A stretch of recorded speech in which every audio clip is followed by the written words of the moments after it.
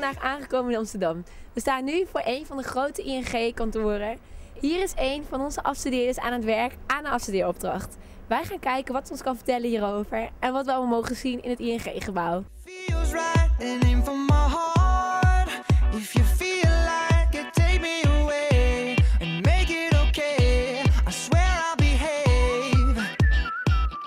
We zijn nu net binnengekomen bij de ING.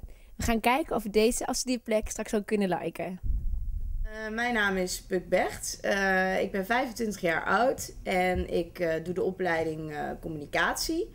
En ik ben nu bezig met mijn afstudeerperiode. Sinds september zit ik nu bij de ING in Amsterdam. Nou, mijn opdracht is dat ik een intern communicatieplan moet schrijven eh, over een virtuele community. Dat is een eh, soort van virtueel platform waar mensen bij elkaar kunnen komen en waar mensen kennis gaan delen. Waardoor er uiteindelijk natuurlijk goede ideeën voor ING uitrollen. En ik ben daar nu een intern communicatieplan voor, voor aan het schrijven. Eh, nou, wat we vandaag gaan doen is we gaan een kijkje nemen op mijn werkplek. Waar ik dus elke dag bezig ben aan mijn scriptie. En daarnaast gaan we mijn opdrachtgever, gaan jullie kennis mee maken. En de projectmanager die over de wervingsprocedure is gegaan. En door middel van die wervingsprocedure ben ik hier dus ook aan mijn afstudeeropdracht gekomen.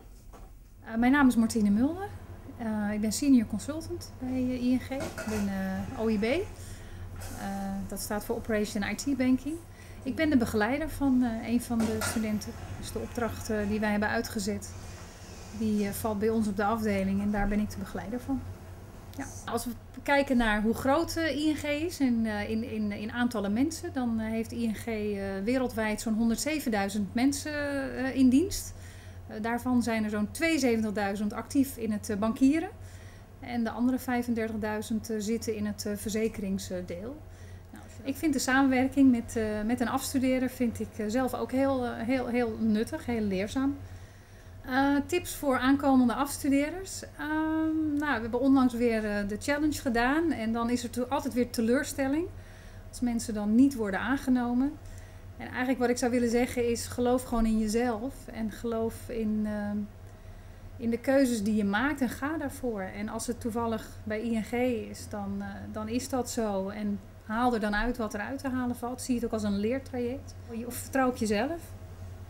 Hoe zou ik mijn afstudeerperiode omschrijven in sleutelwoorden? Nou, ik denk interessant.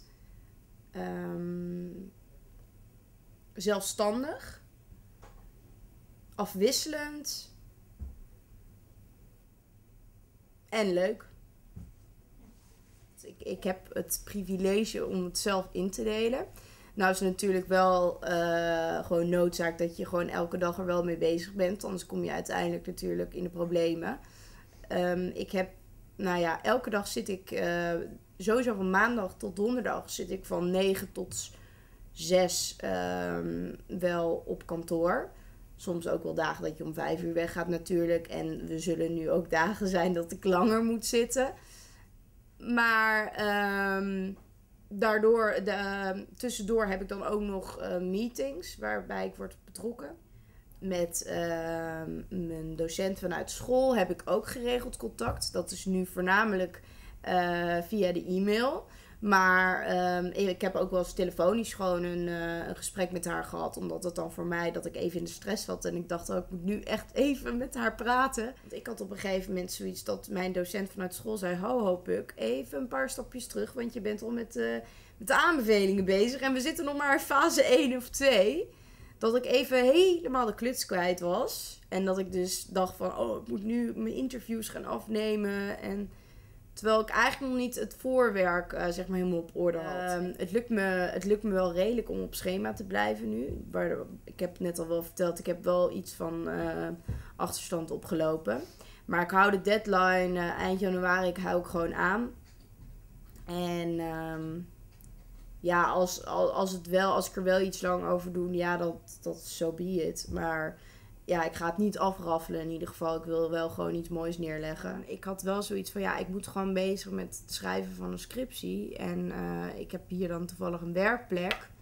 Maar ik had totaal niet verwacht dat ik bij allerlei meetings zou worden betrokken. En dat ik dus ook eh, heel, veel, heel veel van ING zou gaan zien. Ik werk absoluut niet mee, maar ik word wel bij meetings betrokken die op mijn opdracht slaan. Dus daar leer je wel heel veel van en daar haal je ook heel veel informatie uit. Dus dat had ik, ja, dat had ik niet verwacht. Maar dat is wel heel erg leuk. Ik heb eh, natuurlijk nog wel wat tips voor de mensen die nu gaan afstuderen. Ehm, vooral als je gaat zoeken naar een afstudeeropdracht. ehm, ga vooral kijken buiten Groningen.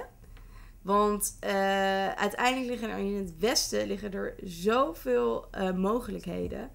En zoveel leuke, interessante bedrijven. Dat ik denk, ja, dat, dat raad ik echt iedereen aan. Daarnaast eh, zorg dat je jezelf blijft. Ehm, vooral als je gaat solliciteren ergens. Wees gewoon jezelf. Zo- Zoek iets uit wat je leuk vindt. wa- Waar je later misschien niet verder zou willen. eh, waar je meer van zou willen weten. Ja, zoek iets wat, wat uitdaging biedt voor jou. En dat is denk ik mijn tip. En hou je goed aan de planning. Dit was de ING. Wij vonden hem echt heel erg leuk. Puk heeft jullie van alles kunnen vertellen en laten zien over haar werkplek en haar afstudeeropdracht. Wij vinden dat ze deze sticker in ieder geval verdiend hebben.